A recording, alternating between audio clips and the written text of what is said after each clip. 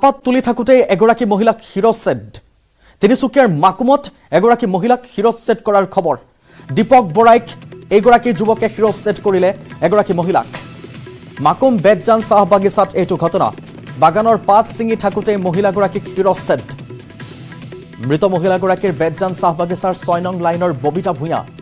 হত্যাকাৰী দীপক বৰাইৰ মাকুম থানাত আত্মসমৰ্পণ। কি কাৰণত?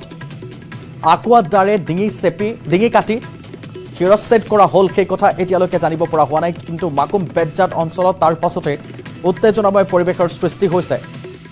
এক চেপা উত্তেজনাই বিৰাজ কৰিছে। তিনিচুকীয়াৰ মাকুমত শিৰচ্ছেদ কৰিলে এগৰাকী মহিলাক। চাহপাত তুলি থকা অৱস্থাত বাগানৰ ভিতৰতে আকুৱা দাৰে শিৰচ্ছেদ কৰিলে এইটো দীপক বৰাইক নামৰ যুৱকগৰাকীয়ে। কিন্তু এতিয়ালৈকে কাৰণ পোহৰলৈ অহা নাই। কি কাৰণত এই ঘটনাৰ সূত্ৰপাত ঘটিল? কোনো কথাত প্ৰথমতে তেওঁলোকৰ অৰিয়া অৰি লাগিছিল। পাত তুলি থকা অৱস্থাত কেইবাগৰাকীও আছিল। পুৱা তেতিয়া আঠ বাজিছে।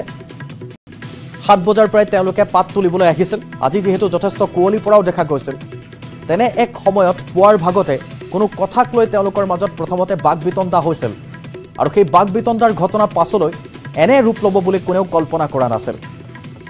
এফালে নতুন কুঁহিপাত ওলাইছে তাৰ পৰা পাত তোলা কাৰ্য আনফালে কলম দি থকা দেখা গৈছে। সমীপৰ আন এখন বাগানত কলম দি আছিল আৰু সেই কলম কটা দাৰে শিৰচ্ছেদ কৰিলে এগৰাকী মহিলাক। এই বিষয়টো সংক্ৰান্তত শেহতীয়া কি ববিতাক কিয় ঘপিয়ালে কিয় শিৰচ্ছেদ কৰিলে দীপকে সেই বিষয়ে এতিয়ালৈকে জানিব পৰা হৈছে নে নাই? কি কয় স্থানীয় লোকে? শেহতীয়া কি আমি জানিম। আমাৰ সৈতে সংযুক্ত হৈছে সতীৰ্থ সাংবাদিক উপাসনা বৰুৱা গোস্বামী ফোনযোগে বিষয়টো সংক্ৰান্তত আৰু অধিক জানিম। উপাসনা আপোনাৰ ওচৰলৈ আহিছোঁ। হয় কৃপাঞ্জল নিশ্চয়কৈ যিটো ইতিমধ্যে যিগৰাকী লোকে দাৰে ঘপিয়াইছে আচলতে তেওঁ নিজকে আত্মসমৰ্পণ কৰিছে দীপক বৰাইকে মাকুম থানা মাকুম আৰক্ষীৰ ওচৰত।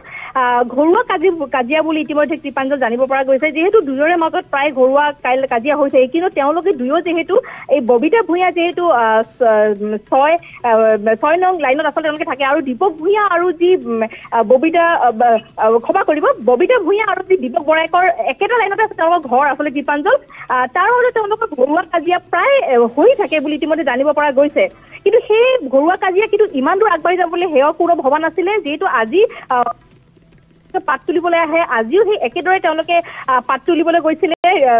কৃপাঞ্জল চাৰি নং লাইনত আৰু সেইখিনি সময়তো দেখা গৈছে পুৱাতে পাত তুলি থকা অৱস্থাতে ঘপককে আচলতে সেই যি হত্যাকাৰী আছে তেওঁ নিজে আহি আচলতে এই যি ববিতা ভূঞাৰ হত্যা কৰে আৰু তাৰপিছত নিজকে আত্মসমৰ্পণ কৰে মাৰক মাকুম আৰক্ষীৰ ওচৰত। কিন্তু আৰক্ষী শেহতীয়াকৈ আমাক জনাইছে কৃপাঞ্জল যে তেওঁলোকৰ মাজত ঘৰুৱা কাজিয়া আছিল আৰু কাজিয়া ইমানেই বাঢ়ি গৈছিলে আচলতে তেওঁলোকে মাৰপিট হয় বহুতো সময় দুখন ঘৰৰ মাজতে। কিন্তু এই কাজিয়া যে আচলতে এই হত্যাৰ যে আচলতে কৰিব সেই কথা কল্পনা কৰা নাছিল। উপ- উপাসনা আপোনাক ধন্যবাদ জ্ঞাপন কৰিছোঁ এই মুহূৰ্তত আপুনি বিষয়টো জনাইছে কিহৰ বাবে হৈছে ঘৰুৱা কণ্ডল তেওঁলোকে কাম কৰিবলৈ যাওঁতে সেয়ে কোনো কথাত তৰ্কাতৰ্কি হৈ শিৰচ্ছেদ কৰিছে বিষয়টোক লৈ তদন্ত অব্যাহত ৰাখিছে আৰক্ষীয়ে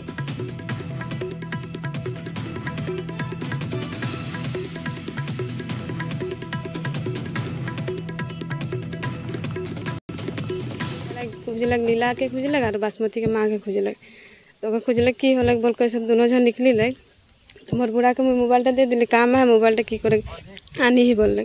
তো মোবাইলটা দিয়ে দিলি ধমকা এখন মোবাইলটাকে লেগে গেলে আর ও দীপক বাড়া একটা বললে যে মোর মোটাটাকে যা তুই মুই যাব বললে।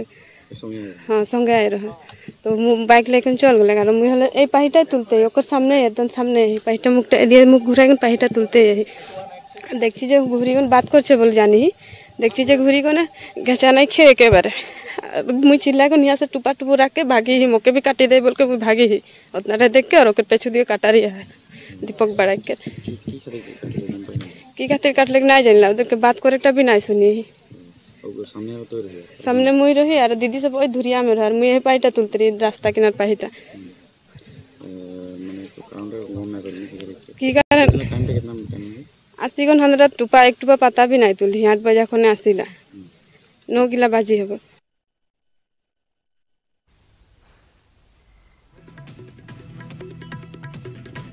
গাঁও চহৰ জিলাৰ খবৰ